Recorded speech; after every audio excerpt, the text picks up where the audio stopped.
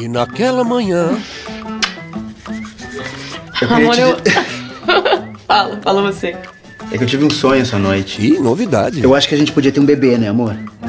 Como é que é? Você falar o quê mesmo? É que eles me ofereceram sociedade. E agora?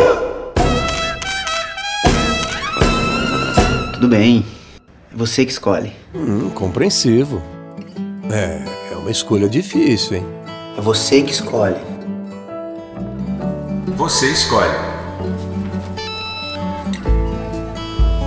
Você escolhe. Oi. Eu escolhi. Eu vou aceitar a sociedade. Que ótimo, meu amor. Mas. Daqui a dois anos. A vida é feita de escolhas, né?